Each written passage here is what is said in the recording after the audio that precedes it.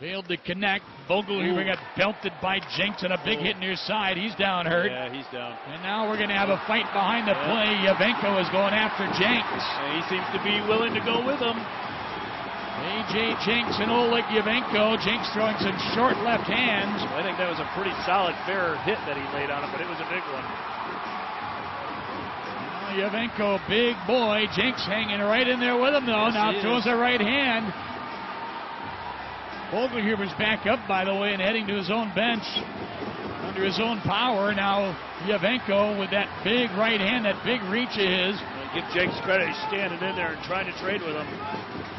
Really take another one there. They need to get in there now. Yeah. Got him with the right. Jenks handled himself very well against one of the league's toughest guys in Oleg Yevenko. Yeah, I don't think that was a bad hit. Jenks laid on him too. Just a big shoulder. He just All caught him off fans. balance and stapled him Turn pretty your well.